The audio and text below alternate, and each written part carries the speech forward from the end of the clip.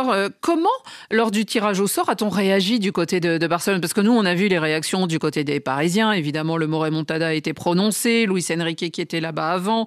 Euh, c'est la quatorzième fois qu'ils vont se mhm. retrouver, l'espèce de classico européen désormais. Comment on a réagi en Espagne? Est-ce qu'on était dans le doute? Est-ce qu'on était dans, la crainte ou, ou final avant ce match? Non, non, euh, les deux seuls clubs qui voulaient éviter, c'était Manchester City et le Bayern. Ici. Un peu comme tout le monde. Hein, je vous donne euh, l'avis de 80% D'ailleurs, ils se retrouvent. Euh, le Bayern. le, non, non, non, ils voulaient éviter le Bayern et City, c'est-à-dire qu'ils voulaient prendre le Real Madrid. Ah oui, pardon. Mhm. Ça leur ça leur aurait pas dérangé de jouer le Real Madrid sur sur deux matchs.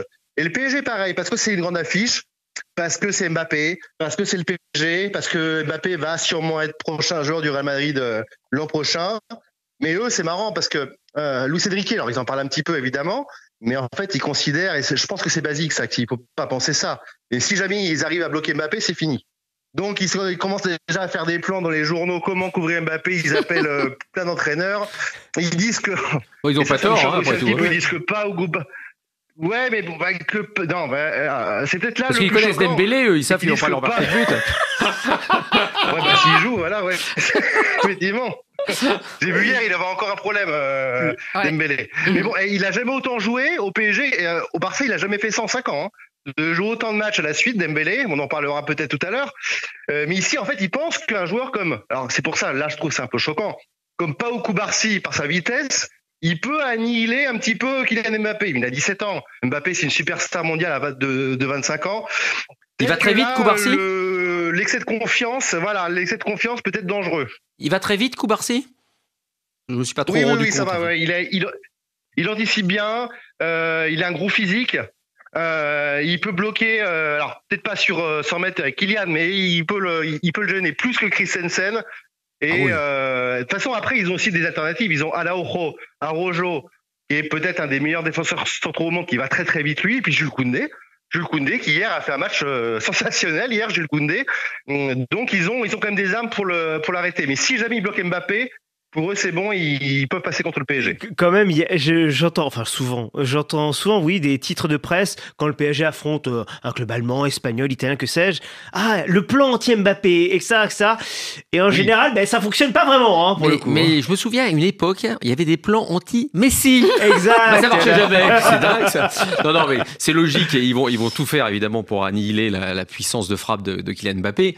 Après, est-ce que c'est possible ou non? Il faudra surtout, à mon avis, qu'ils se concentrent plutôt sur euh, leur contre-attaque rapide, parce que je crois qu'ils ont moyen de faire mal au Paris Saint-Germain. François, une petite question encore au sujet du Barça. Xavi, Effectivement, il y a 10 matchs, il a fait cette annonce fracassante, hein, je partirai à la fin de saison. Est-ce que ces joueurs sont en train de lui dire euh, daté Ou est-ce que, ou est-ce que euh, il y, a, une possibilité, selon vous, euh, de, revenir sur finalement des paroles peut-être en l'air? Il faut jamais dire jamais, jamais dire jamais. Euh, j'ai envie de, j'ai envie d'y croire peut-être, j'ai envie d'être optimiste parce que pour moi il n'y a pas, y a pas mieux que lui. Et ça, vous pouvez vérifier. Jamais moi personnellement, j'ai été dans les dans les anti Xavi, j'ai toujours défendu Xavi euh, dans ce micro-là euh, comme ailleurs. je oh, pas, pas souvent, je trouve que c'est le meilleur entraîneur possible. pour moi, c'est le meilleur entraîneur possible pour le Barça, il connaît tout du Barça, il connaît la maison, il connaît les ah journalistes, il connaît le milieu, il connaît le style de jeu. Et il sait bien choisir les, jeunes de la Masia. Il avait vraiment atteint Annie. Et, voilà, je pense que ça, c'est son héritage. Mhm. Il laissera ça à son successeur si jamais il en vient un autre. Il lui laissera les David Gamal, les Pogo Barcy, les, les Fermine, les Hector Fort, les joueurs comme ça. Euh, je pense que moi, ce qu'il a vraiment blessé, en fait, c'était de voir que euh, dans le trou là qu'on a connu il y a, il y a trois mois environ, que ces gens ne, ne progressaient pas. On avait l'impression que chacun allait euh, de son côté, qu'il n'y avait mm. aucune unité. Et je pense que c'est ça qui l'a vraiment blessé. Le fait d'annoncer, je pense que ça a été aussi un coup de, un coup de tonnerre et que les gens ont pris conscience que mm. finalement c'était eux les coupables et qu'ils bah, ils allaient devoir se bouger maintenant pour faire, euh, bah, pour faire mieux et lui rendre ce, que le coach leur avait donné, ce que vous avez très bien dit d'ailleurs euh, tout à l'heure. De là à le faire basculer, on verra la fin de saison.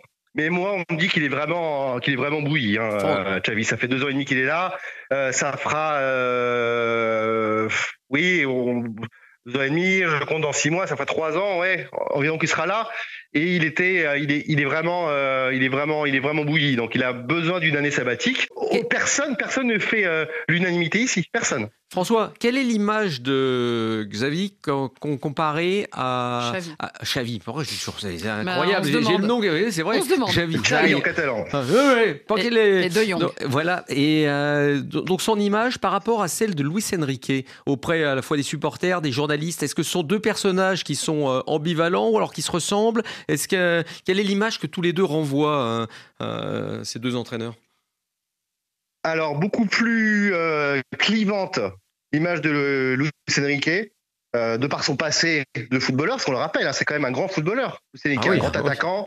Euh, au Real Madrid, il jouait même euh, défenseur, mais il avait quitté le Real Madrid pour le Barça à l'époque en étant libre, ce, que, ce qui ne se faisait pas à l'époque, notamment pour la presse madrilène, qui lui en veut toujours un petit peu. Après, il y a ce, il y a ce côté un petit peu, allez, on va dire pédant.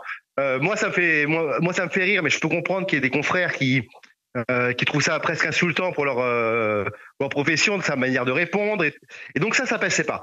Ça passait pas ici. Donc l'image beaucoup plus clivante. Xavi a quand même une image beaucoup plus consensuelle parce que ça a été un joueur. Euh, déjà, il a gagné euh, tout ce qui était possible de gagner avec l'Espagne. C'était un joueur euh, référence. il a jamais insulté le Real Madrid ni rien. Il a jamais été au-delà, ne serait-ce que revendiquer sa, son côté catalan et du Barça. Il l'a toujours fait, mais il n'a jamais été sur les plates-bandes des autres. Et, euh, et c'est marrant parce qu'on voit d'ailleurs que le Xavi joueur et le Xavi entraîneur, hier il y avait une statistique, il a reçu trois fois plus de cartons jaunes depuis qu'il est entraîneur de toute sa carrière de joueur. il est vraiment à fond dedans. Euh, Xavi, hier, il a, il a encore été expulsé. Mais euh, l'image, en gros, est beaucoup plus consensuelle, celle de, celle de Xavi que Louis Cédric, évidemment.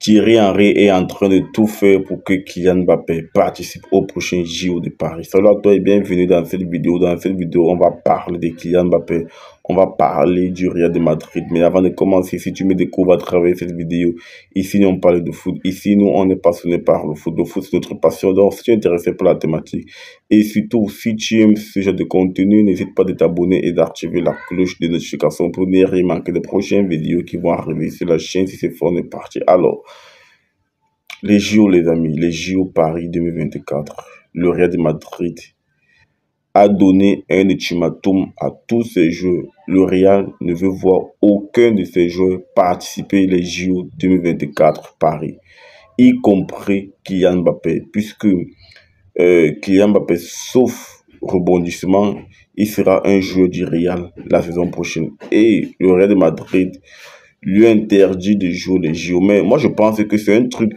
qui pouvait se gérer dans le contrat puisque quelque part aussi, le Real Madrid a aussi besoin de Kylian. Lui, euh, Kylian, Kylian c'est un grand joueur. Le Real Madrid a remporté des trophées sans Kylian Mbappé, mais Kylian pouvait aussi mettre dans sa clause en disant que moi, je souhaite jouer les jeux dans mon pays. Il pouvait mettre ça dans le contrat, dans la clause. Dans la clause. Peut-être il a essayé, mais le Real a refusé, mais euh, le Real de Madrid veut voir ses joueurs frais en août-septembre. Le Real veut voir ses joueurs frais en août-septembre. Kylian, Kylian voulait absolument jouer les JO, mais peut-être que Thierry Henry, et c'est là où Thierry Henry va entrer dans cette histoire, puisque Thierry Henry est en train de négocier avec le Real de Madrid pour que Kylian Mbappé puisse faire les JO 2024 à Paris chez lui. Thierry Henry est en train de tout faire pour que les joueurs du Real, notamment français, puissent, puissent jouer les JO. Est-ce qu'il va y parvenir? Moi, je pense que si il parle bien avec Fiorentino Perez, s'il négocie bien avec les dirigeants du Real de Madrid, il peut y parvenir, puisque c'est une compétition qui se déroule euh, en juillet ou tout ça, euh, en début de saison, on peut peut-être prolonger client jusqu'en octobre. On peut dire, écoute, charge les jours, euh, on te donne jusqu'à octobre pour revenir. Ça peut être un deal, ça peut marcher, comme ça peut ne pas marcher. Donc, euh, moi, je pense que ça sera intéressant de voir Kylian Mbappé euh, au JO. Imaginez les JO en France sans Kylian Mbappé. La tête d'affiche, pour moi, ça sera pas bling bling ça sera pas bling bling. Lorsque tu as Kylian Mbappé, euh, tu as Benzema, puisqu'on parle également de Karim Benzema, on parle également de Karim Benzema, tu as Kylian Mbappé, tu as Karim Benzema, et comme entraîneur, tu as Thierry Henry. ça fait saliver. Hein. Ça fait saliver sur le papier. Tu as Kylian Mbappé, tu as Benzema et tu as Thierry Henry. Ça fait saliver sur le papier. Donc, moi, je pense que, moi, je pense que les amis, euh, le Real doit comprendre euh, la requête de Thierry Henry. Le Real de Madrid doit essayer de comprendre aussi que Kylian joue chez lui parce que les JO, c'est à Paris, c'est chez lui. Le Real doit comprendre tout ça. Euh, je veux bien que le Real veut ses joueurs frais en septembre et tout, mais les jours, les jours à domicile, pour moi, euh, ce n'est pas tous les jours. Ce n'est pas tous les jours et le Real de Madrid doit essayer de comprendre cela. Ça prouve une fois de plus que Kylian Mbappé, à mon avis, c'est au Real. Il sera au Real de Madrid. Même comme rien n'est officiel, on ne sait même pas. Actuellement, Kylian n'a pas annoncé qui quittera le PSG en fin de saison. Euh, le club n'a pas annoncé. Bref, on est juste dans des... Je ne veux pas dire dans des expositions, puisqu'il y a des médias sur eux qui l'ont confirmé, mais euh, aucun parti, ni Kylian, ni le PSG, n'a vraiment confirmé l'information. Donc, c'est un peu, euh, c'est un peu dans le flou, mais à mon avis, il sera un jour du Real de Madrid.